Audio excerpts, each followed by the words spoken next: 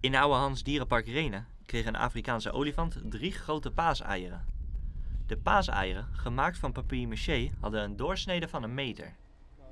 Deze eieren werden verstopt in het buitenverblijf en zijn gevuld met lekkernijen, zoals noten, brokken, pindakaas en fruit.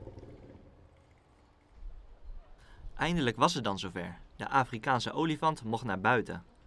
Hij had wel door dat er iets veranderd was, maar wat wist hij nog niet precies. Maar al snel zag de olifant het. Hij zag een grote, gekleurde bal op een redelijke hoogte. Deze hoogte was voor hem geen probleem en stootte de bal vakkundig van de paal af. De olifant wist niet goed wat hij ermee aan moest en begon met wat takken te spelen. Maar opeens werden zijn reukzintuigen aangetast en merkte dat er eten in de bal zat. Gelijk stormde de olifant naar de bal toe en begon te smullen aan de paasei. Maar waarom waren deze paaseieren in het olifantenverblijf? Wij doen elke dag verrijking maken. En dat houdt in dat je bijvoorbeeld voedsel kunt verstoppen. In dit geval hebben we de paaseieren voor gebruikt. En hoeveel eieren zijn er eh, verstopt? Nou ja, verstopt. Zoals je ziet zijn ze redelijk groot. Ze zijn, eh, we hebben er drie neergelegd. Er zit voer in natuurlijk. Dat vindt, vindt hij in dit geval het lekkerste.